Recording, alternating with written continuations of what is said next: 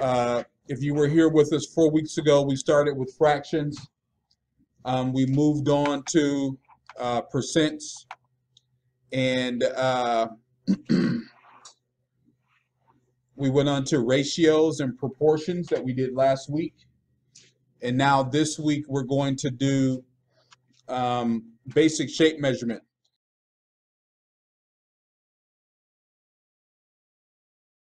So just one point of clarification.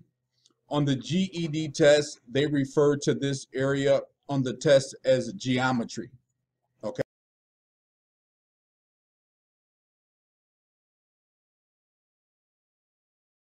Now the second thing here, the shape we're going to come across is the triangle. Uh, see, get a better triangle here. There we go. All right, so we got this triangle here. And so we'll say uh, this side is 7.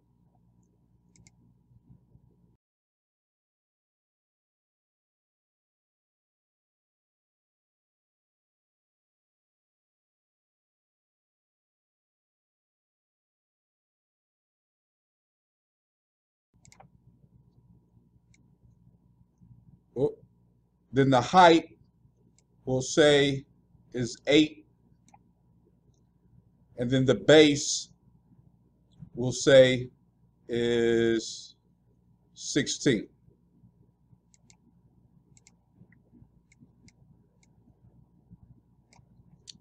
So this side is 7. The height of the triangle is 8. And the base of the triangle is 16. Okay?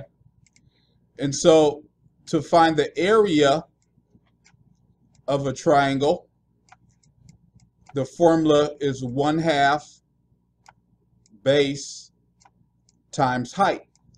Now remember, you don't have to memorize these formulas because they give them to you on the GED test, so you have them, okay?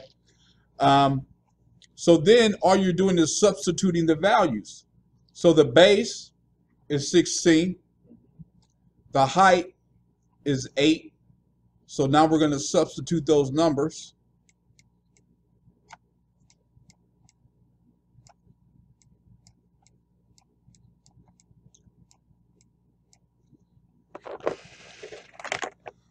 Get my calculator out here. So 1 half times 8 times 16 equals 64. So the area of that triangle is going to be 64. But now what about the perimeter of the triangle?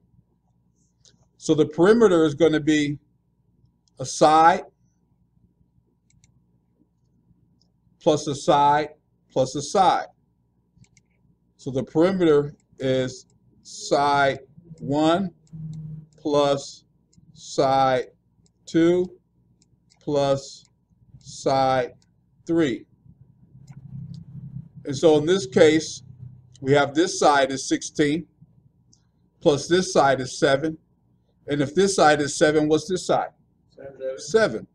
So now we can just say 7 plus 7 plus 16. So 14 plus 16 is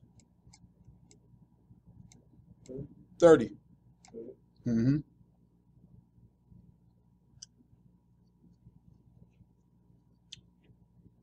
So sometimes they'll ask you about the area of a triangle. Sometimes they'll ask you about the perimeter of a triangle.